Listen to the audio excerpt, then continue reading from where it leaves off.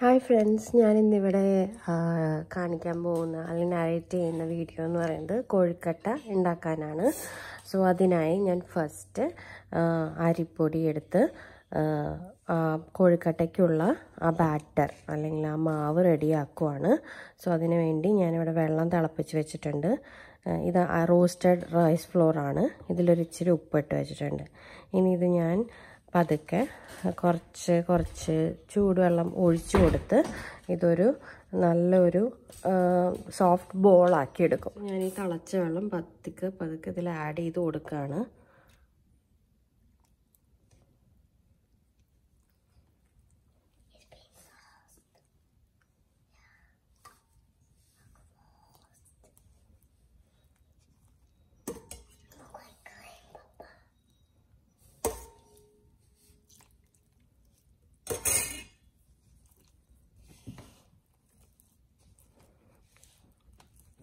വെള്ളത്തിന് ചൂട് കാരണം മാവ് ഇങ്ങനെ പതുക്കെ കുക്കാവാൻ തുടങ്ങിയിട്ടുണ്ട്.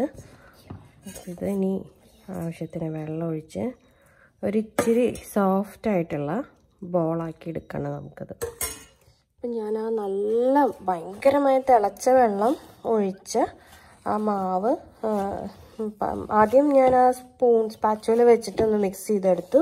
അത് കഴിഞ്ഞ് ഞാൻ ആ ചൂടൊന്ന് വിട്ടെടു വിട്ട് തുടങ്ങിയപ്പോൾ ഞാൻ നന്നായി അതൊരു ബോൾ പോലെ മിക്സ് ചെയ്തെടുക്കുവാണ്.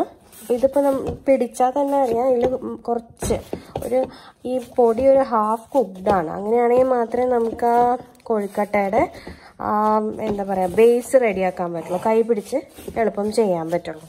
നെക്സ്റ്റ് സ്റ്റെപ്പ് അതിലേക്ക് കോഴിക്കട്ടയിലേക്കുള്ള സ്റ്റാഫിങ്സ് റെഡിയാക്കാൻ വേണ്ടിയിട്ടാണ്. അതിന് വേണ്ടിയിട്ട് ഞാൻ ഇവിടെ എടുത്തേക്കുന്നത് ചിരകിയ തേങ്ങ ശർക്കര പിന്നെ ഇവിടെ കിട്ടുന്ന ഒരു ടൈപ്പ് ബെറീസ് ആണ്. ഇത് വേണമെങ്കിൽ യൂസ് ചെയ്തത് ഓപ്ഷണൽ ആണ്. ഇത് ഇവിടെ കിട്ടുന്ന ഒരു ടൈപ്പ് ബെറീസ് ആണ്. നിങ്ങൾക്ക് വേണമെങ്കിൽ റസീൻസോ കറുത്ത മുന്തിരിയോ അങ്ങനെ എന്ത് വേണമെങ്കിലും ഇത് എൻറിച്ച് ചെയ്യാനായിട്ട് ആഡ് ചെയ്യാം.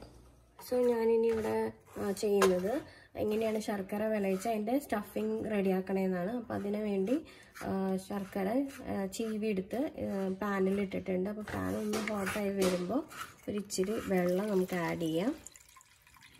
അപ്പോൾ ഈ ശർക്കര അതിൽ ഈ വെള്ളം നല്ലപോലെ ചൂടായി വരുമ്പോൾ അതിൽ അലിഞ്ഞു തുടങ്ങും. സോ നൗ ശർക്കര എല്ലാം ഉരുകി വെള്ളം തിളച്ചു തുടങ്ങി. അപ്പോൾ ഞാൻ അതിലേക്ക് നമ്മൾ നേരത്തെ മാറ്റി വെച്ച തേങ്ങ ഇടാൻ പോവാണ്.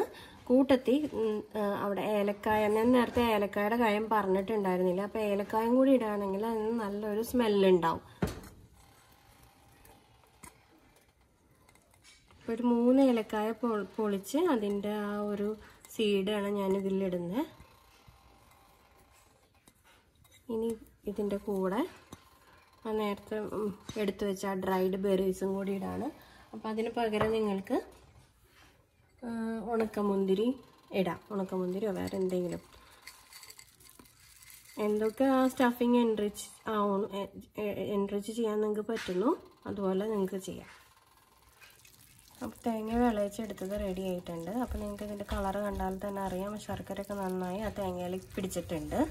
ഇനി ഇതൊന്ന് കൂൾ ഡൗൺ ചെയ്യാൻ വെച്ചേക്കാണ്. ആ സമയം നമുക്ക് അതിലേക്ക് വേണ്ട. ആ അതിന്റെ ആ ഒരു ബേസ് ഉണ്ടല്ലോ കോഴിക്കട്ടയുടെ അത് നമുക്ക് റെഡിയാക്കാം. ഞാൻ അതിന്റെ ബേസ് സ്റ്റഫിങ്സ് ഉണ്ടാക്കുന്ന ബേസ് എങ്ങനെയാണ് പ്രിപ്പയർ ചെയ്യാമെന്നാണ് കാണിക്കുന്നത് അപ്പോൾ ഇവിടെ രണ്ടെണ്ണം ഉണ്ടാക്കി വെച്ചിട്ടുണ്ട്. ഇതിന്റെ അകത്തോട്ട് ഇനി സ്റ്റഫിങ്സ് ഇട്ട് ക്ലോസ് ചെയ്യാൻ വേണ്ട. യാ സോ അതിനായിട്ട് നിങ്ങളൊരു ബോൾ എടുക്കുക വെയിറ്റ് ചെയ്യട്ടെ ജൂലിയസ് അതിനായിട്ട് നിങ്ങളൊരു ബോൾ എടുത്തിട്ട് ഈ തമ്പ് വെച്ചിട്ട് അകത്തോട്ട് പ്രസ് ചെയ്യുമ്പോൾ ആ ഒരു കപ്പ് ഷേപ്പ് കിട്ടും. അപ്പം നിങ്ങളുടെ നിങ്ങളുടെ കയ്യിൽ അത് സ്റ്റിക്കി ആയിട്ട് തോന്നുന്നുണ്ടെങ്കിൽ ഇടയ്ക്ക് ഇവിടെ ഒരു പാത്രത്തിൽ ഇച്ചിരി വെള്ളം എടുത്ത് ഞാൻ വെച്ചിട്ടുണ്ട്. ഒന്ന് ഡാബ് ചെയ്താൽ മതി. അപ്പോൾ സ്റ്റിക്കിനെസ് പോവും. എന്നിട്ട് നിങ്ങൾക്ക് വീണ്ടും ഇതിങ്ങനെ പ്രസ് ചെയ്യാം.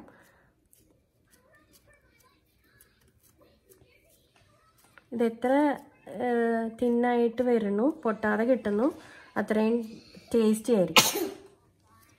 ബ്ലസ് യു അപ്പം ഞാൻ മൂന്നാൽ ബേസ് ഇവിടെ ഉണ്ടാക്കി വെച്ചിട്ടുണ്ട്. അപ്പം ഞാൻ ഇനി അതിലേക്ക് സ്റ്റഫിങ് ഇട്ട് ഇത് ക്ലോസ് ചെയ്തൊരു ബോളാക്കുന്നത് ഇപ്പോൾ ഡിസ് നറേറ്റ് ചെയ്യാം.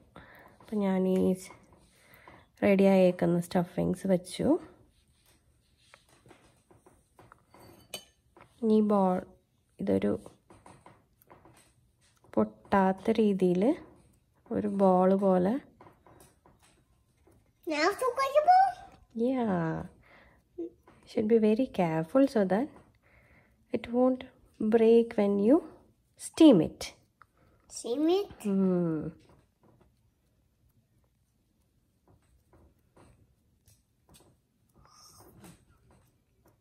So ഞാനിനി നാല് ഉണ്ടാക്കി വെച്ച എല്ലാ ബോൾസും ഇഡ്ഡലി തട്ടിൽ വെച്ചിട്ട് ഒന്ന് സ്റ്റീം ചെയ്തെടുക്കാൻ പോവാണ് ഓക്കെ അപ്പോൾ പത്ത് മിനിറ്റോളം വേവിച്ച് എടുത്ത സ്റ്റീം ചെയ്തെടുത്ത അരി ഉണ്ട കോഴിക്കട്ട റെഡി ആയിട്ടുണ്ട്. ഇനി ഇതിപ്പോൾ റെഡി ടു സെർവ് ആണ്. സോ ഇതാണ് നമ്മുടെ കോഴിക്കട്ട.